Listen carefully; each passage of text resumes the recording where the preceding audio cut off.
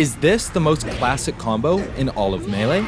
The Ken combo is specific to the character Marth, when Marth links a forward air into a big fat down air to send their opponent straight to the Shadow Realm. The combo got its name from the king of Smash, Ken, who dominated the early years of Melee.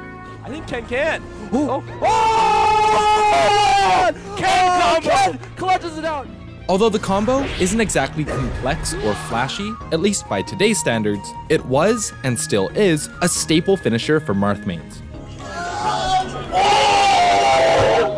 and has been used in some of the most iconic combos in Melee history.